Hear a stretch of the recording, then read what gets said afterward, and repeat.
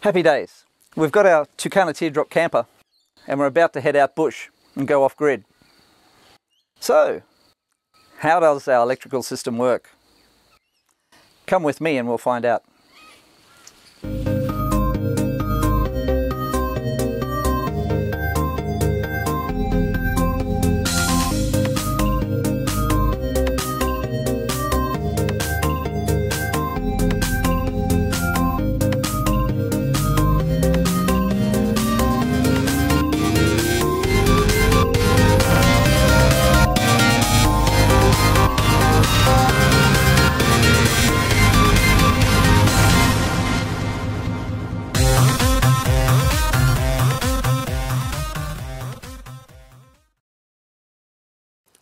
This video is being done in conjunction with Tucana Teardrop Campers made by Stonegate Industries.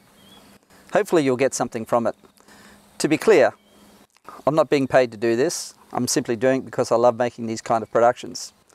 In later videos, we hope to have more interesting content for you. So please, by all means, subscribe.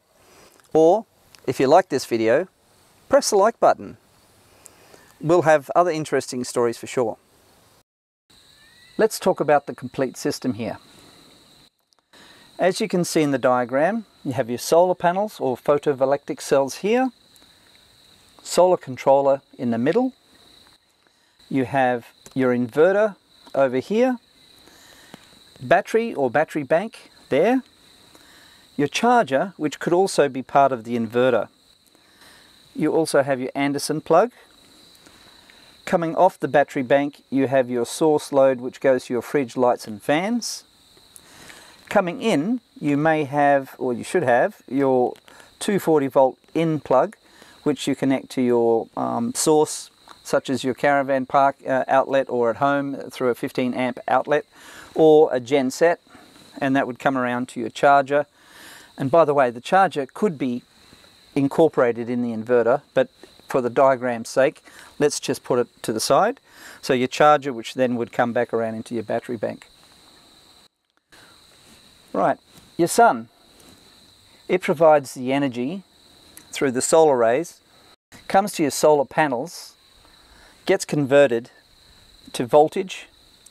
Your solar controller controls that voltage to bring it down and regulate it so that it goes into your battery bank without burning out your batteries. Your battery bank, in turn, can feed directly through 12 volts to your fridge, lights and fans, etc. Or also into your inverter, which then converts it into 240 volts out to the plugs that are in your camper.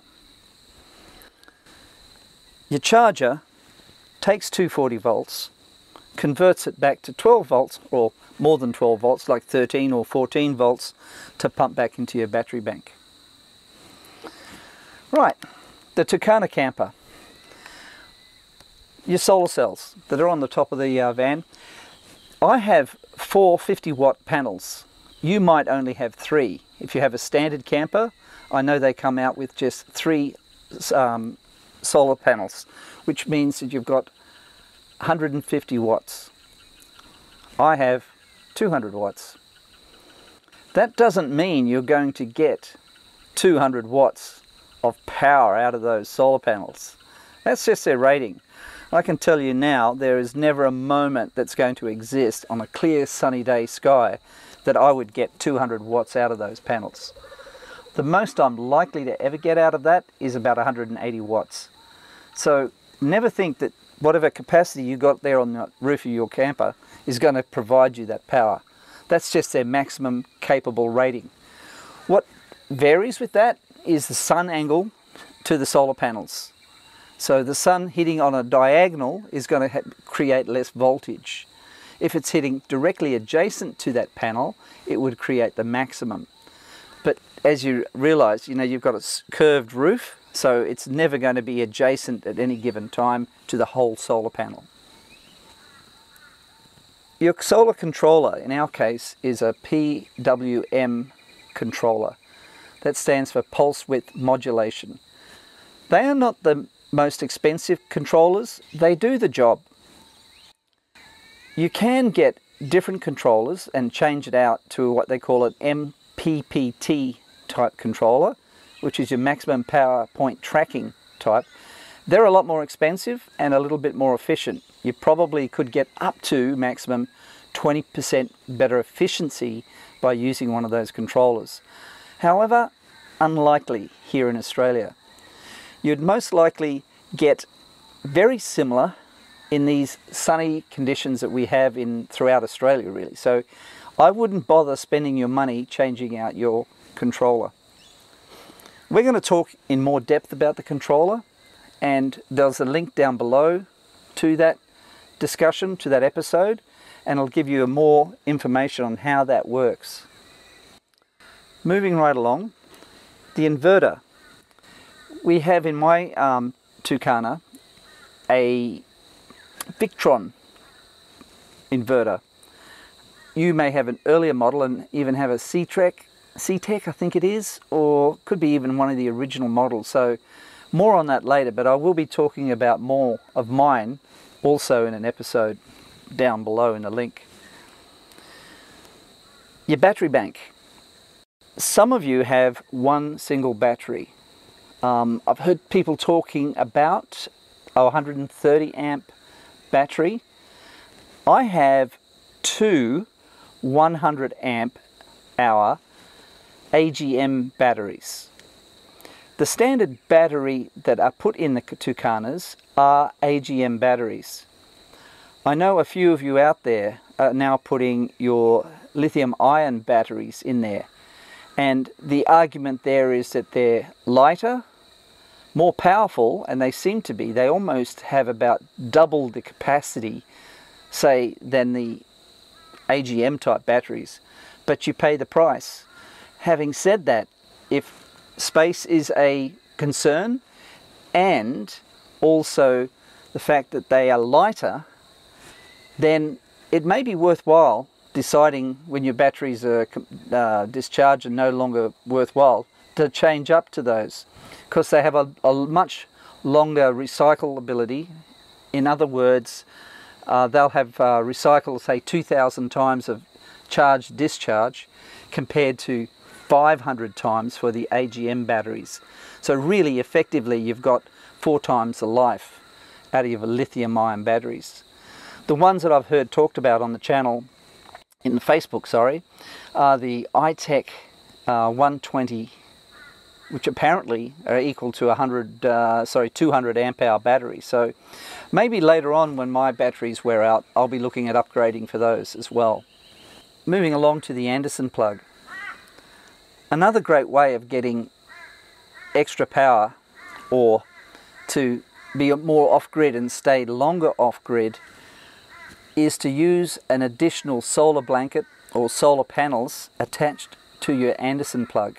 There's been a little bit of talk on Facebook um, page about the not being able to connect directly to the Anderson plug, but that's actually not the fact. You can plug directly into this if your solar blanket or solar panels also has its own solar controller. The two will not interfere with each other. They'll both go about charging up your battery bank. So you can do that. And it's a great way of using the uh, camper off-grid and getting more power to sustain yourself while you're out camping.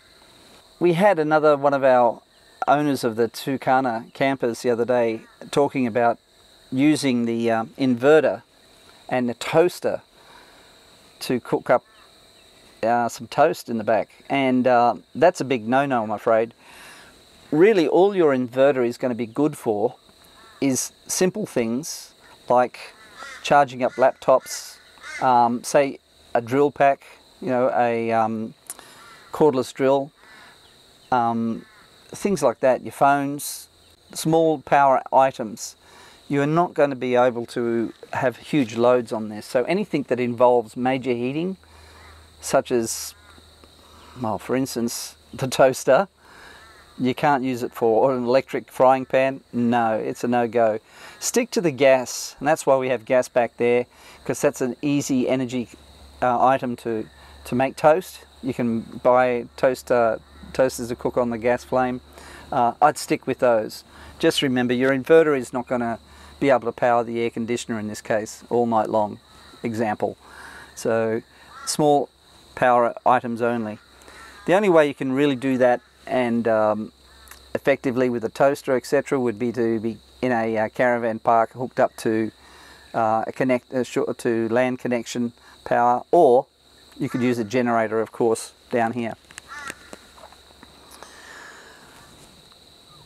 So really what would you do? How do you know when you're going off grid what to take with you? Well, for me, it depends on where I'm going, how long I'm going to be away. Like if it's just a weekend, your battery bank and your solar panels are going to be plenty. If I'm going for a week or so, I take my genset so that I can bring up the batteries quickly if I need to. Also, please leave a comment.